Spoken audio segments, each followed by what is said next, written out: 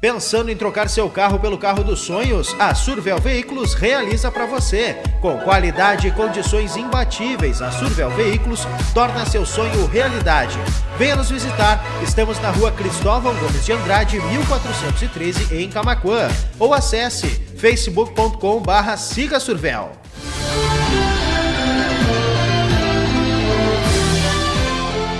Um caminhão baú com placas de Monte Negro carregado com mantimentos tombou na manhã desta segunda-feira na BR-116, enquanto acessava o trevo de acesso a Tapes. Parte da carga acabou abrindo e ficando espalhada pela pista. O motorista, que não teve nome divulgado, teve apenas escoriações leves e passa bem. A Polícia Rodoviária Federal atendeu a ocorrência. O trânsito flui normalmente no local.